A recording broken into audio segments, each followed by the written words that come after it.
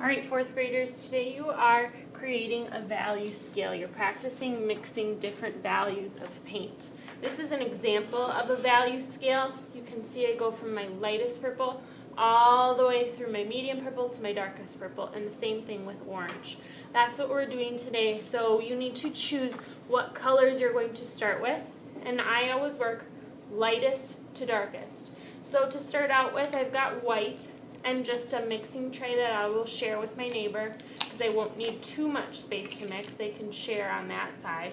And I'm going to put a little bit of white with my brush and spin it off on my palette. Okay. Now I'm going to be dipping into the blue, so I need to clean off my brush. I bounce it in my water cup so that the bristles spread out and get clean. Drag it on the edge so that it doesn't drip. And mix up a little, or pour out a little bit of blue.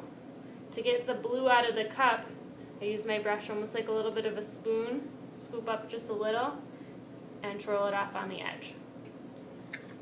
From here, I am mixing my blue with my white. So I'm not going to need very much blue. I'm going to need more white than blue because I'm making my lightest value of blue. So more white than blue, quite a bit of white, and just a little bit of blue. When I mix a color, I just choose one little spot to mix. I'm not going to need very much paint to fill in this small box. Okay, so this is my lightest blue tint. I need to paint that in.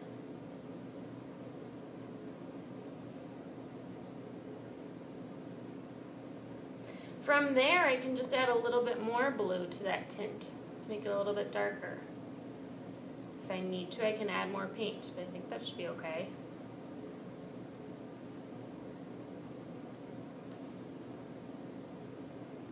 I'm still showing good craftsmanship, even though I'm just painting in these small squares, practicing using my brush in a way I would on my final painting. Now I need a little bit more white, so I'm going to clean out my brush, make sure there's no blue on it so that I'm not dripping blue into the white out a little bit more white, to twirl it off on my paint palette. Okay, I need to mix a little bit darker blue. I have one, two, three, four, five, six boxes. So right here, this should be my medium tone. I could do just plain purple probably in this third or fourth box, okay, but it's up to you. So a little bit of white and a little bit more blue and mix it up.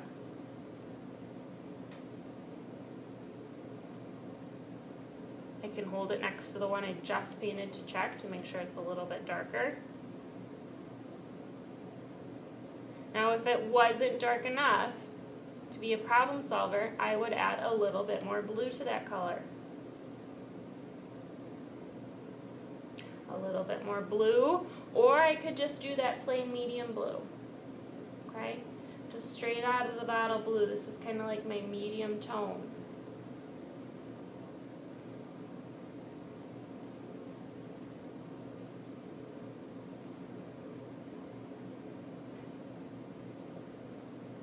back and forth, back and forth goes my brush. I'm ready to start mixing a shade, and a shade has black in it. So I'm going to mix up a little bit of, or pour out a little bit of black, just like I did with the white. And now this is why my neighbor and I are sharing. I accidentally grabbed too much white. My neighbor can use that white if they need to. Okay. Pour out a little bit of black. Black is a really strong color. I'm not going to need too much black. Okay, I'm either going to rinse out my brush before I start to mix my shade. Alright, so I'm going to use mostly blue. Looks like I need a little bit more.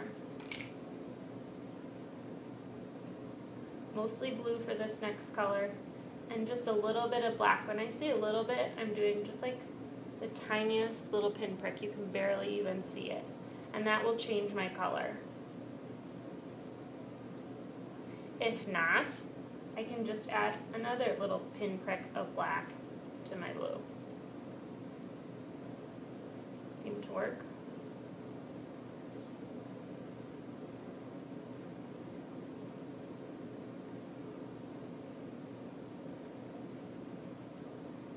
And a little bit more blue, and a little bit more black. Slowly mixing up my darkest shade. I'm going to use a little bit more. I want this one to be really dark, so I'm going to add even a little bit more. You could leave it as it was right there, or you can make a really dark black. It's up to you. So here is my value scale for blue. I've gone from my lightest blue all the way to my darkest blue. I'm going to do that same thing with another color down below here. Make sure before you turn it into the drying rack that you get your name and class code on it. Miss G 4S or 4M at the top or the back, somewhere, so that we know whose is whose. All right, I'm looking forward to seeing these value scales.